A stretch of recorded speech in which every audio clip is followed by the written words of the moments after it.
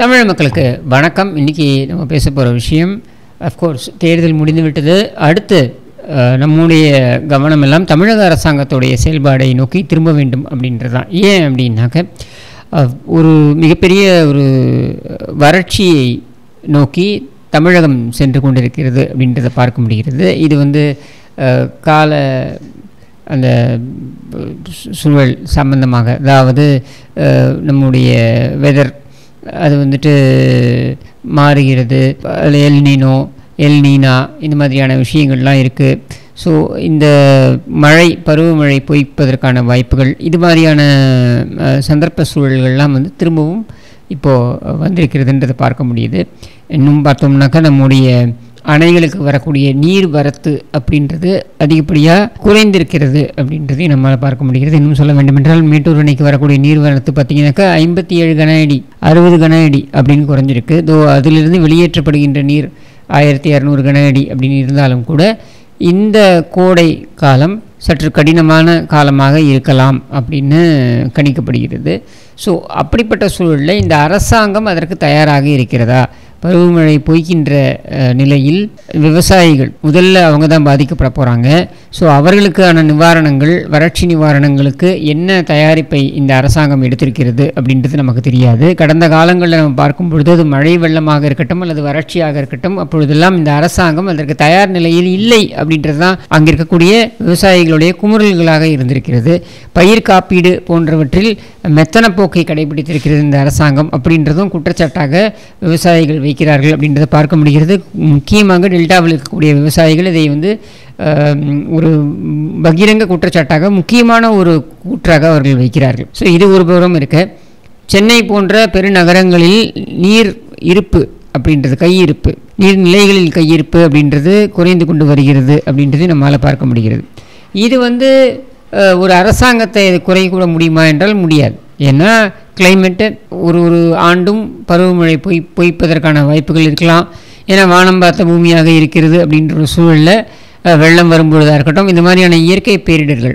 இதெல்லாம் வரும்பொழுது இது அரசாங்கம் தான் அதற்கெல்லாம் காரணம்னு நம்ம சொல்லிவிட மு- ஆனால் இதற்கு தயாரிப்பில் இந்த அரசாங்கம் இருக்கிறதா அப்படின்றதான் கேள்வி. இதுவரையில் முதலமைச்சர் இது குறித்து அதிகாரிகளுடன் ஏதாவது கூட்டங்கள் நடத்தியிருக்கிறார்களா? ஆலோசனை கூட்டங்கள் நடத்தியிருக்கிறார்களா? மாவட்ட நிர்வாகத்தினரை அழைத்து அதாவது கலெக்டர்களை அழை- அழைத்து இது குறித்து பேசியிருக்கிறாரா?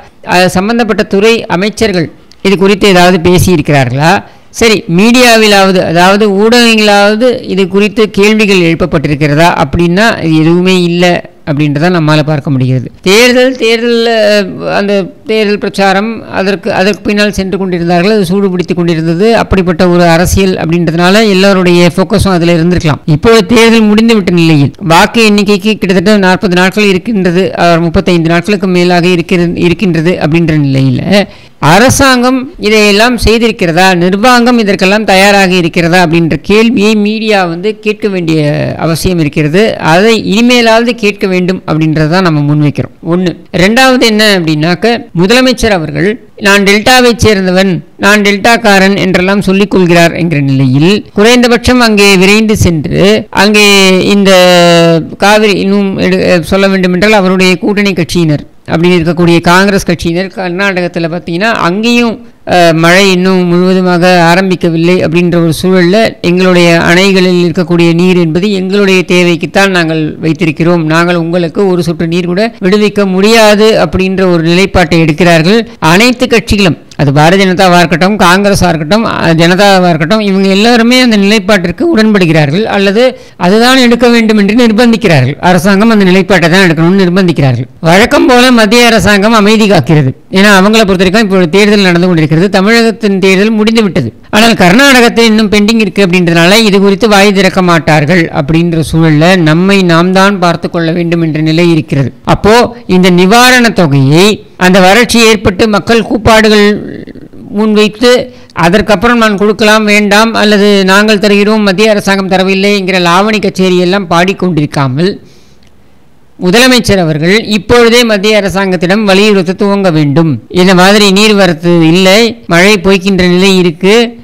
ஒரு கால் நிவாரணம் தேவைப்பட்டால் மத்திய அரசாங்கத்துடைய பங்கை எங்களுக்கு முன்னதாகவே வழங்கி விடுங்கள் என்று நிர்பந்திக்கக்கூடிய நிலையில் முதலமைச்சர் இருக்க வேண்டும். அல்லது அவரது அமைச்சர்களை விட்டு அவது டெல்லிக்கு அனுப்பி இப்போ கேலோ இந்தியா ஓலோ இந்தியாக்கெல்லாம் அனுப்பி வைக்கிறார் இல்லையா? அவருடைய மகனை அந்த மாதிரி யாரையாவது அனுப்பி வைத்தாவது அல்லது இவரே வெள்ளை தூக்கி கொண்டு சென்றாவது பிரதமரிடம் இது குறித்து பேச வேண்டும் அப்படின்றத கோரிக்கையாக நான் இங்கே வைக்கிறேன். இதை செய்வாரா அந்த முதலமைச்சர் அப்படின்றதான் கேள்வி. எதிர்க்கட்சி தலைவர் ஏற்கனவே இந்த விஷயம் குறித்து பேச ஆரம்பித்து விட்டார் அப்படின்ற நிலையில் மற்ற எல்லா கட்சிகளும் இது குறித்து பேச வேண்டும். மக்கள் மத்தியில் இது விவாத பொருளாக்க வேண்டும் என்று கூறி விடைபெறுகிறேன். நன்றி. வணக்கம்.